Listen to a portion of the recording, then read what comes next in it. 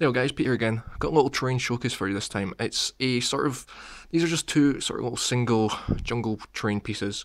Like you can see, they're mainly covered with rocks, sort of Sears play, bushy foliage, plants again. Got some more foliage all around them.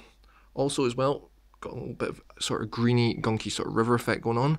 I don't know how that obviously looks, but it looks, it's not too bad. I just wanted to try obviously some with some green.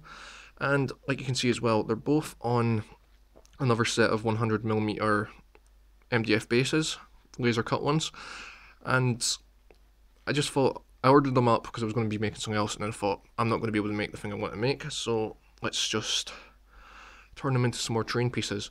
So obviously, like the first one, you can see is pretty simple. Rock is sitting on top of all the sort of gunk and stuff. You've got the plants growing underneath, you've got the plants growing on top.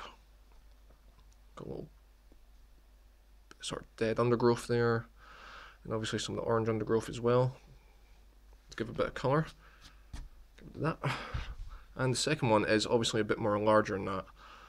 Got this sort of little pool in the middle there. Got some more undergrowth. Got some sort of bark effect added to there as well. Obviously got the plants.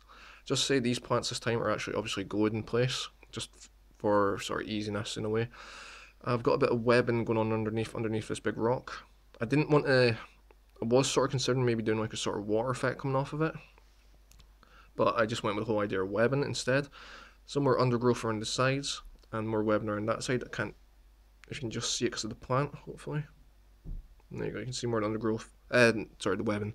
And like you can see, obviously there's sort of holes in the middle and that going right through and stuff as well. So obviously, like I say guys, these are just simply two of little jungle terrain pieces, obviously made on 100mm bases. They aren't scenic bases as such, they're more terrain piece than anything, but if you want to use them as a scenic base, especially this one, then that'd be fine. If obviously any of you want, do want to purchase these yourself, it would be handy for that. So anyway guys, these will be up on my eBay store as of right now, if you are interested in them. As always, there's links in the description you want to follow me on any social media sites, and if you're new to the channel guys, please hit that subscribe button as well for more videos like this in the future. And I'll see you next time.